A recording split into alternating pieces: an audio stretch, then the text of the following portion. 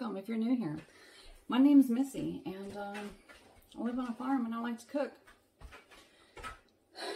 Today, I'm trying something totally new. This is a, another crock pot recipe. Uh, sorry if you don't like crock pot recipes, because uh, I've made quite a few lately. But I've been a little under the weather. Uh, I have like 99 health issues. I really do. And um, yeah, I just don't have the the energy to stand and stir stuff on the stove. So crock pot and it is. This is, I saw this recipe floating around on Instagram for like the last two weeks. And I kept looking at it and saying, gosh, that looks so good. I'm going to make that. And then, of course, when I went to go find the recipe, because I didn't save it, it was nowhere to be found.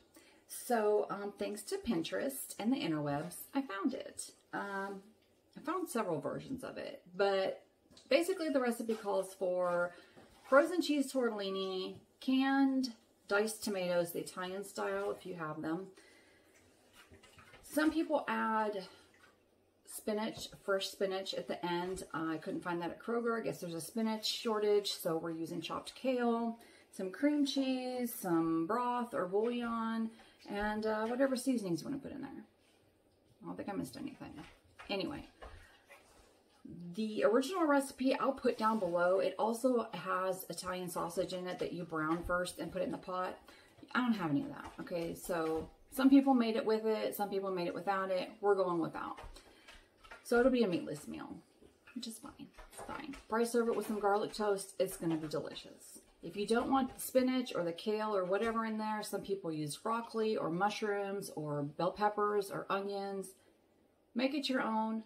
Make it how you like it. Make what your family will eat, most importantly. Okay? Let me show you what we're going to All right, I hope y'all can see this okay.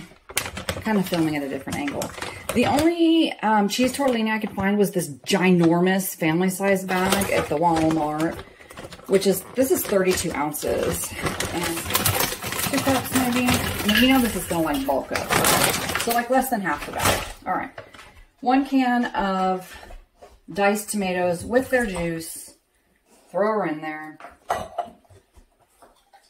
This is 16 ounces of, I use the Better Than bouillon, uh, refrigerated stuff mixed with some hot water. Uh, if you hear lip smacking in the background, that is definitely not me. It's the pig.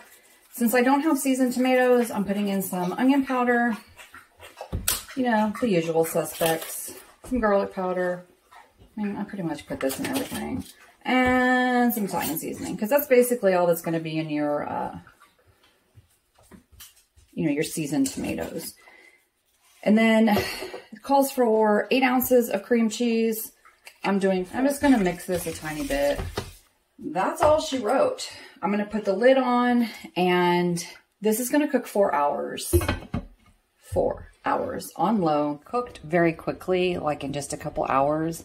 If you were going to make this as the recipe calls for, I'm sure it would take the full four hour cooking time, but there it is all plated up and purdy. I made some garlic bread to go on the side.